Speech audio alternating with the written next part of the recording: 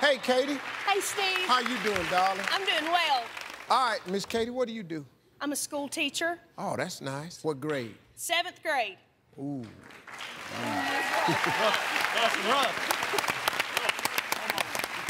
What's your favorite thing about teaching? I just love kids. You love all kids. No. Okay.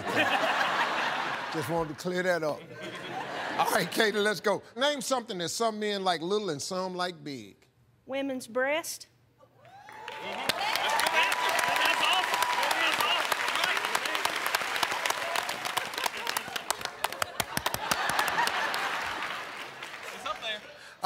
If it ain't up there, it should be. Women's breast.